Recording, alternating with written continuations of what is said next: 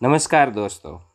શિક્ષક અભિયોગ્યતા કસોટી વર્ષ બે હજાર તેવીસમાં જ્યારે યોજાઈ રહી છે, વિભાગ એક માટેના જે બાળ મનોવિજ્ઞાન અને પેડાગોજીના આધારિત કેટલાક એમસીક્યુ અને વિગતે પ્રશ્નોના જવાબ આજે બનાવવામાં આવ્યા છે.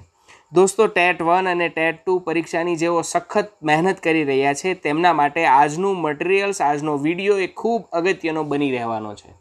દોસ્તો, તમે જો પ્રથમ વખત જ બ્રેક ટાઈમ એજ્યુકેશન ચેનલમાં આવ્યા હોય તો વિનંતી છે ચેનલને સબસ્ક્રાઇબ કરશો, એવા દોસ્તો સુધી શેર કરશો બેલ આઇકનમાં ઓલ પ્રેસ કરશો, જેથી કરીને તમામ નોટિફિકેશન તમને મળતી રહેશે. ચાલો, આજનો વીડિયો આપણે શરૂ કરીએ. સૌથી પહેલો પ્રશ્ન આવે છે, પ્રકૃતિ તરફ પાછા ફરો. આવું જાણીતું વિધાન કોણે કહેલું છે? તો આ વિધાન ચિંતક રૂસોનું છે. દોસ્તો, રૂસોની આત્મકથાનું નામ જો પૂછવામાં આવે તો એને આપણે કહેશું કન્ફેશન રૂસો પુસ્તકીય શિક્ષણનો વિરોધ કરે છે. ખાસ કરીને સ્ત્રી શિક્ષણ માટે રૂસોના વિચારો આવકાર્ય નથી, એને પણ આપણે યાદ રાખીએ. રૂસોને પ્રકૃતિ, મનુષ્ય અને પદાર્થ તેના પ્રેરણા સ્ત્રોત હતા. આ ઉપરાંત તે દમનવાદી શિસ્તના વિરોધી પણ હતા. તો આવી બધી વાતો એ શિક્ષણ ચિંતકોની છે, એને યાદ રાખશું. સોક્રેટિસની શિક્ષણ પદ્ધતિ કેવી હતી? તો દોસ્તો, તેઓ પ્રશ્નોત્તરી દ્વારા જ્ઞાન આપતા હતા. દરેક શિક્ષણ ચિંતકોની શિક્ષણ પદ્ધતિ જો પૂછવામાં આવે, તો અહીંયા લખવામાં આવેલી છે. ખાસ યાદ કરી લો, તમારી નોટબુકમાં નોંધ પણ કરી લો દોસ્તો. દાખલા તરીકે આગમન નિગમન પદ્ધતિ એરિસ્ટોટલે વિકસાવેલી છે. સંવાદ પદ્ધતિના પુરસ્કર્તા પ્લેટો છે. નિદર્શન શિક્ષણ પદ્ધતિ વિશેષ હિમાયતી જો કોઈ હોય, તો હબાર્ટ છે. ઇન્દ્રિયોનું શિક્ષણ વિશે તો એ પેસ્ટોલોજી તેના વિશેષજ્ઞ છે. તો આની વાત પણ તમે ખાસ ધ્યાનમાં લેશો. હવે પછીનો પ્રશ્ન છે, દીવા સ્વપ્ન આ પુસ્તકના લેખક કોણ છે? તો જે પ્રાથમિક શિક્ષક બની રહ્યા છે, એને પીટીસીનો જેમને અભ્યાસ કર્યો છે, એમને તો ખબર જ હશે કે ગીજુભાઈ બધેકા છે. પરંતુ દોસ્તો, ગીજુભાઈ બધેકાના જન્મદિવસને વાર્તા દિવસ તરીકે પણ યાદ કરીએ છીએ આપણે. તેમને પૂર્વ પ્રાથમિક એટલે કે બાળ મંદિર વિભાગમાં નોંધપાત્ર ફાળો આપ્યો છે. તેમના જીવન પર મેડમ મોન્ટેસરી શિક્ષણની ગાઢ અસર જોવા મળે છે. તેમને વાર્તા પદ્ધતિ અને નાટ્ય પદ્ધતિનો અસરકારક ઉપયોગ કરેલો આપણને જોવા મળે છે. શિક્ષણ એ માનવને આત્મવિશ્વાસુ અને નિસ્વાર્થી બનાવે છે. આવું વિધાન કોણે કહેલું છે? તો આ વિધાન આપણને ઋગ્વેદમાં જોવા મળે છે. કેળવણી અને તત્વજ્ઞાન એ એક સિક્કાની બે બાજુએ છે. આવી વ્યાખ્યા કોણે જણાવી છે? તો જે એસ રોસ નામના વ્યક્તિએ આમની વ્યાખ્યા બતાવી છે. એજ્યુકેશન. આ શબ્દ કયા શબ્દ પરથી, કઈ ભાષા પરથી ઉતરી આવેલો છે? તો એ લેટિન ભાષાનો શબ્દ છે. ત્યાંથી અહીં સુધી આપણા પહોંચ્યો છે. કેળવણી એ કેવી પ્રક્રિયા છે? તો કેળવણી એ સતત એટલે કે આજીવન ચાલતી પ્રક્રિયા છે. આ દોસ્તો, આ પ્રશ્ન અગાઉ પૂછવામાં આવેલો છે. કેળવણી એટલે જ માનવ અને સમાજનું નિર્માણ. આવું વિધાન કોણે કહેલું છે? ડૉક્ટર રાધાકૃષ્ણનજીએ આ વિધાન આપેલું છે. દોસ્તો, પ્રાથમિક શાળામાં જુદા જુદા તાલીમના મોડ્યુલ્સ આવતા હોય છે. એમાં પોપેટ એ માટેનું તાલીમ મોડ્યુલ શું છે? એનું નામ શું છે? તો એનું નામ છે અભિલાષા. જેન્ડર તાલીમનું મોડ્યુલ જે છે, એનું નામ છે ઉડાન. તો ક્યારેક તાલીમ મોડ્યુલના સીધા નામ પણ પૂછી બેસતા હોય છે. મૂલ્યાંકનના ત્રણ ક્ષેત્રો ભાવનાત્મક, જ્ઞાનાત્મક અને મનોશારીરિક આવી વ્યાખ્યા કોણે આપેલી છે? બેન્ઝામિન બ્લુમે. જન સેવા એ જ પ્રભુ સેવા. આવો જીવન મંત્ર કોનો હતો? તો આવો જીવન મંત્ર દોસ્તો સ્વામી વિવેકાનંદનો હતો. સ્વામી વિવેકાનંદજી વિશે થોડી વિગતે વાત આપણે જોઈએ તો એને યુવાનો માટે કહેલું છે, ઉઠો જાગો અને ધ્યેય પ્રાપ્તિ સુધી મંડ્યા રહો. આ ઉપરાંત તેમને ખાસ શિક્ષણ વિશેના વિચારો જોઈએ તો એમને કહેલું છે કે માતૃભાષામાં શિક્ષણ મહત્ત્વનું છે. શિક્ષણમાં ધર્મને પણ મહત્ત્વનું આપવા તેઓ જણાવતા હતા. વિદ્યાર્થીઓમાં દેશપ્રેમ અને રાષ્ટ્રભક્તિના ગુણોનો પણ વિકાસ થવો જોઈએ તેવા સ્વામી વિવેકાનંદજી હિમાયતી હતા. બહુ સાંવેદનિક અધ્યયન એટલે શું? વિવિધ ઇન્દ્રિયો દ્વારા ઉપયોગ દ્વારા અધ્યયન. નિદાન કસોટી શું આપે છે? વિદ્યાર્થીઓને શું નથી આવડતું એ આપણને જણાવે છે. પ્રમાણિત કસોટી કોણ રચી શકે? નિષ્ણાંત વ્યક્તિ રચી શકે છે. મનુષ્યની અંદર રહેલી શક્તિઓને બહાર ખેંચી લાવે તે કેળવણી. આવું વિધાન કોણે કરેલું છે? સર પરસીને કરેલું છે. માનવીને ચારિત્રવાન અને જગત ઉપયોગી બનાવે તે કેળવણી આવું કોણે કહેલું છે? તો આ બહુ ખ્યાતનામ વ્યાખ્યા છે, કૌટિલ્યએ જણાવેલી છે. આપણને જે શિક્ષણ કુદરત તરફથી મળે છે, તેનું નામ જ માનવીય શિક્ષણ, આવું કોણે કહેલું છે. તો પાણીનીજીએ આ વ્યાખ્યા આપેલી છે. જીવનના અંધકારમાં પ્રકાશ ફેલાવે તે કેળવણી. આવી વ્યાખ્યા કોને જણાવેલી છે? એચ જી વેલ્સે. દોસ્તો, અત્યારે આપણે ટેટ વન, ટેટ ટુના ખૂબ અગત્યના મટીરિયલ્સની ચર્ચા કરી રહ્યા છીએ.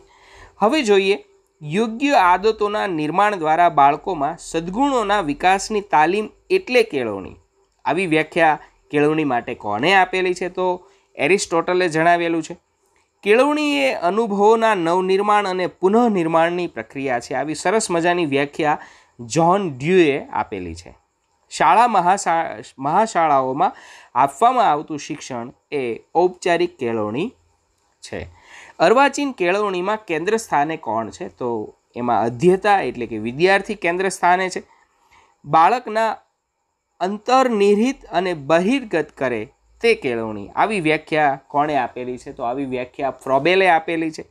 શાળા વિના કેળવણી અધૂરી છે. આવું કહેનાર એ તત્વજ્ઞાન છે, જેની આ થિયરી છે.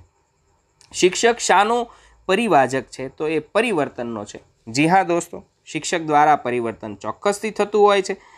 શિક્ષકે વર્ગમાં કેવી પદ્ધતિઓ અપનાવવી જોઈએ? તો એ તમારા વર્ગના વિદ્યાર્થીઓ કેન્દ્રી પદ્ધતિઓ અપનાવવી જરૂરી બને છે. જનસમૂહની નિરક્ષરતા એ હિન્દુસ્તાનનું પાપ છે. બહુ જાણીતું આ વાક્ય મહાત્મા ગાંધીજીનું છે. પ્રકૃતિવાદ એ કયા પ્રકારના શિસ્તની હિમાયત કરે છે? તો મુક્ત શિસ્તની હિમાયત કરે છે. યાદ રાખીએ દોસ્તો, પ્રકૃતિવાદ એ ધાર્મિક શિક્ષણને નિરર્થક ગણે છે. પ્રકૃતિવાદમાં શિક્ષકનું સ્થાન કેવું છે? તો પ્રકૃતિવાદમાં શિક્ષકનું સ્થાન ગૌણ ગણવામાં આવે છે. આદર્શવાદના પ્રણેતા કોણ હતા? પ્લેટો. આદર્શવાદી કેવી શિસ્તનો આગ્રહ રાખે છે? કડક શિસ્તનો આગ્રહ રાખે છે. દોસ્તો, આદર્શવાદમાં આધ્યાત્મિકતા પર ભાર મૂકવામાં આવે છે. આદર્શવાદમાં શિક્ષકનું સ્થાન મહત્વનું છે. અન ટુ ધી લાસ્ટ આ પુસ્તક કોણે લખેલું છે? તો આ પુસ્તક ખ્યાતનામ ચિંતક રસ્કીને લખેલું છે. દોસ્તો, આ પુસ્તકની સૌથી ઊંડી અસર જો કોઈ હોય, તો એ મહાત્મા ગાંધીજી ઉપર પડેલી છે. વ્યવહારવાદ શાના ઉપર ભાર મૂકે છે. તો વ્યવહારવાદ એ પરિવર્તન ઉપર ભાર મૂકે છે. આ પ્રશ્નમાં પણ યાદ રાખીએ કે વ્યવહારવાદના પુરસ્કર્તા જ્હોન ડ્યુય હતા. આ ઉપરાંત વ્યવહારવાદીઓ માને છે કે મૂલ્યો પરિવર્તનશીલ હોય છે. ત્યાર પછી દોસ્તો, એક ગુણ ક્રિયાત્મક સંશોધનનો હંમેશ માટે હોય છે. તો ક્રિયાત્મક સંશોધનના કેટલાક પ્રશ્નો જોઈએ કે એની વ્યાખ્યા સૌ પહેલાં કોણે આપી? તો સ્ટીફન કોર નામના વ્યક્તિએ ક્રિયાત્મક સંશોધનની વ્યાખ્યા આપેલી છે. ઘણી વખત ક્રિયાત્મક સંશોધનના સોપાનો ક્રમમાં આડાઅવળા મૂક્યા હોય છે અને આપણે એને ક્રમિક રીતે ગોઠવવાના હોય છે. તો એના આઠે આઠ જે સોપાન છે એને આપણે યાદ રાખીએ. પહેલું સોપાન છે સમસ્યા સમસ્યા ક્ષેત્ર, બીજું ત્રીજું સમસ્યાના સંભવિત કારણો, ચાર પાયાની જરૂરિયાત અને માહિતી, છ પાંચ ઉત્કલ્પનાઓ અને ધારણાઓ, છ પ્રયોગ કાર્યની રૂપરેખા, સાત મૂલ્યાંકન અને આઠ તારણો, પરિણામો અને અનુકાર્ય. દોસ્તો, આ મુદ્દાઓને નોંધી લેજો. દર વખતે આ પ્રશ્ન ખાસ હોય છે. કયું સામાજિક પરિવર્તન નકારાત્મક છે? વૃદ્ધાશ્રમોની વધતી સંખ્યા. વ્યવહાર વ્યવહારવાદ શિક્ષણના ધ્યેયો વિશે શું માને છે?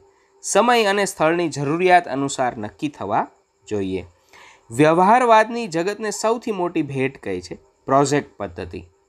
વ્યવહારવાદ કયા પ્રકારની શિસ્તના હિમાયતી છે? સામાજિક શિસ્તના હિમાયતી છે. વ્યવહારવાદમાં શિક્ષકનું સ્થાન કેવું છે એ જણાવશો. તો કેન્દ્રીય સ્થાને પણ નહીં અને ગૌણ સ્થાને પણ નહીં.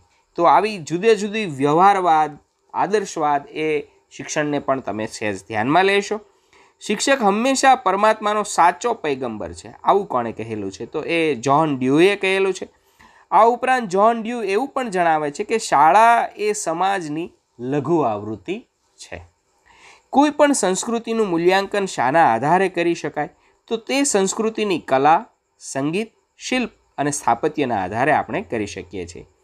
કયું સામાજિક લક્ષ્યાંક સિદ્ધ કરવા શાળા મદદરૂપ થઈ શકે? નિરક્ષરતા, નિવારણ. કયા શિક્ષક ભાવનાત્મક ઐક્ય સાધવામાં સફળ થઈ શકે છે? તો એ પૂર્વગ્રહ વિનાનો હોવો જોઈએ. રાષ્ટ્રીય એકતાનું ચણતર કોઈ ઈંટ અને ચૂના વડે કરી શકાય નહીં. તે માણસના દિલ અને દિમાગમાં પાંગરવી જોઈએ. આવું કોણે કહેલું છે? તો ડૉક્ટર રાધાકૃષ્ણનજીએ આવી વાત જણાવેલી છે. ભારતનું ભાવિ તેના વર્ગખંડોમાં ઘડાઈ રહેલું છે. દોસ્તો, આ પ્રશ્ન પૂછવામાં આવેલો છે. બહુ જાણીતું વિધાન છે, કોઠારી કમિશન દ્વારા આ વિધાન પ્રસ્થાપિત થયેલું છે. એનસીઆરટીની સ્થાપના ક્યારે થયેલી છે? એક નવ ઓગણીસો એકસઠમાં આની સ્થાપના થયેલી છે. તેનું પૂરું નામ છે national council of educational research and training. કોઈ વિદ્યાર્થી વર્ગમાં જૂઠું બોલે છે. તો શિક્ષક તરીકે તમે શું કરશો? તો એ વિદ્યાર્થીની શું સમસ્યા છે એ જાણવા માટેનો પ્રયાસ કરવામાં આવશે. કોઈ વિદ્યાર્થી શાળામાંથી વારંવાર ભાગીને ઘરે પહોંચી જાય છે, તો આવા વિદ્યાર્થીઓ માટે તમે શું કરશો? તો વિદ્યાર્થીનો વાલી સંપર્ક એ સૌથી શ્રેષ્ઠ એનો ઉત્તર બનશે. શિક્ષકે કેવા બાળક ઉપર વધારે ધ્યાન આપવું જોઈએ? તો એમાં જુદા જુદા બાળકની કેટેગરી દર્શાવી છે, પરંતુ તેનો સર્વ માન્ય જય કહી શકાય એવો જવાબ છે દરેક બાળકો પ્રત્યે સમાન ધ્યાન આપવું. દોસ્તો બ્રેક ટાઈમ એજ્યુકેશનના વિડીયોને અંત સુધી જોવા માટે આપ સર્વનો આભાર. ફરીવાર મળીશું આવા જ કોઈ મટીરિયલ સાથે કે જે તમારી આગામી પરીક્ષાઓના અંદર ગુણાંકનમાં સો ટકા વધારો કરશે. ફરીવાર મળીશું આવા જ કોઈ શિક્ષણની વાતો સાથે કે કે જે તમારા જ્ઞાનમાં પણ વધારો કરે જનરલ નોલેજમાં પણ વધારો કરશે. તમારા દોસ્તો સુધી આ લિંકને ચોક્કસથી શેર કરશો. ફરી મળીશું. જય હિન્દ જય ભારત.